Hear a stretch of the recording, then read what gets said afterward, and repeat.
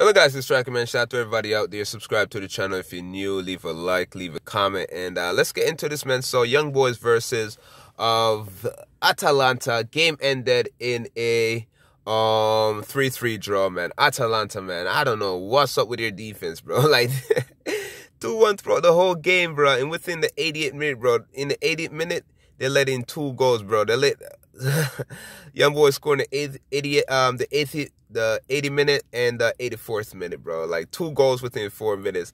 And uh, freaking uh, Muriel had to bail him out in the 88th minute, bro. He had to, he had to come through and score the equalizer for Atalanta, man. Atalanta always do this, man. They they could be up all game, bro, and they they could let they, they're like like five goals in, bro. Their defense is one of the worst defense out there in football.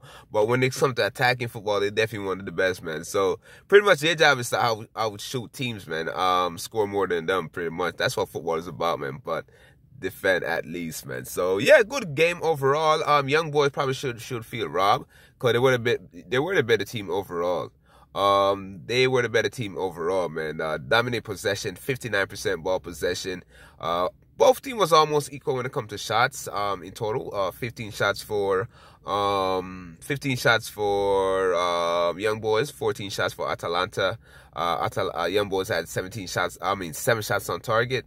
Um, Atalanta had uh, 5 shots on target, man. Zapata was fantastic. Um, the midfielder for Young Boys, forgot his name. Uh, midfielder play on the right side, he had assist. He was probably, he was very, very good, man. It started with an A, like Aeroboshi or something like that. He was nice.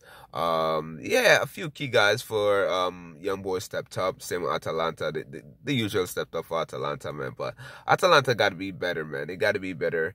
Um, they got outplayed today, and they're lucky they got a draw today, man. Uh, but it is what it is, and they're looking like they they, they got to beat Villarreal now to qualify for the Champions League uh, next round. Uh, if not, they're gonna be in the Europa League, man. But it is what it is. Subscribe, leave a like, leave a comment. With that, I'm out here. Peace.